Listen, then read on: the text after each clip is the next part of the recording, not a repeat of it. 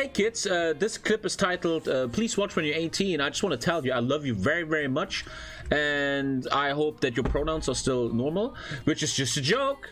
You're living in 2044, you probably already get executed for a joke like this. Hey, we're just making fun of you, man. I love you, kids. Uh, uh yeah, and don't fucking ask me for money all the time.